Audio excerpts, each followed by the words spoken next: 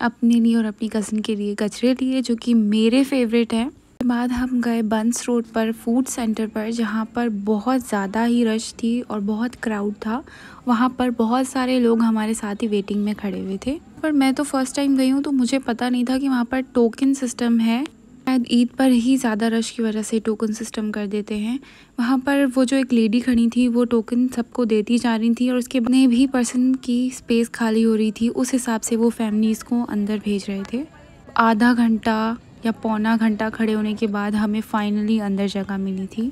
Kitchen जो है वो आउटडोर किचन है। सब कुछ बाहर बनता है और फिर इनके तीन फ्लोर्स हैं, जहाँ पर एरियाज़ बने हुए हैं चैम्बर्स बने हैं चेयर्स हैं और वो टोटली फुल थे और इतनी देर खड़े होने के बाद हमें अंदर जाने का मौका मिला था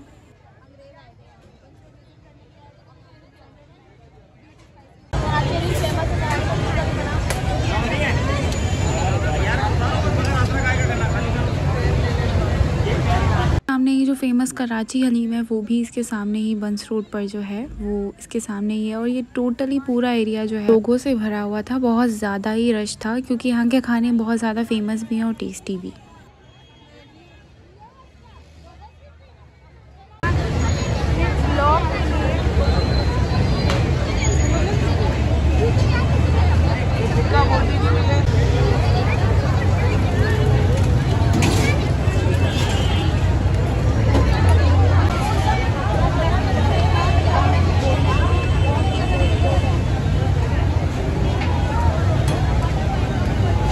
इतनी देर खड़े होने के बाद हम अंदर आ ही गए। आने के दस मिनट बाद हमें मेन्यू भी मिल गया और मेरा ऑर्डर हमेशा सॉर्टेड होता है जिंगर मैं। भी जाऊँ, मैं जिंगर ही ऑर्डर करती हूँ, फिर चाहे मैं दूसरी चीज़ें ट्राई करने के लिए दोबारा ऑर्डर करूँ।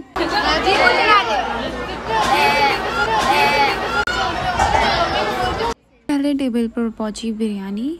बिरयानी वॉज़ ऑसम बहुत ज़्यादा टेस्टी बैलेंस्ड मसाले balanced oil everything was balanced और सबसे ज़्यादा कि इतनी ज़्यादा मिर्चों वाली नहीं थी ऑयली भी बिल्कुल नहीं थी तो जो लोग डाइट पर हैं वो भी आराम से एक दिन तो खा ही सकते हैं। चिकन काफ़ी टेंडर था और मुझे ऐसे ही पीसेस पसंद है चिकन के। Which was seven on ten taste wise बहुत अच्छा बट उसकी जो ब्रेड थी वो काफ़ी ड्राई होती जा रही थी।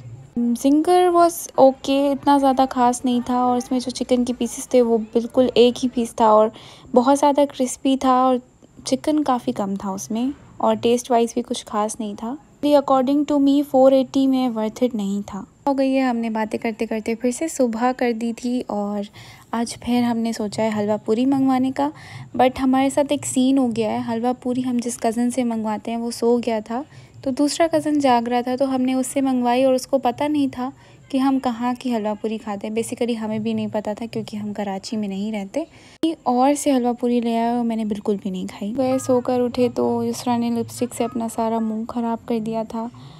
सो so, मिलते हैं आपको नेक्स्ट ब्लॉग में। तब तक के लिए like share and subscribe to my channel अल्लाह हाफिज़।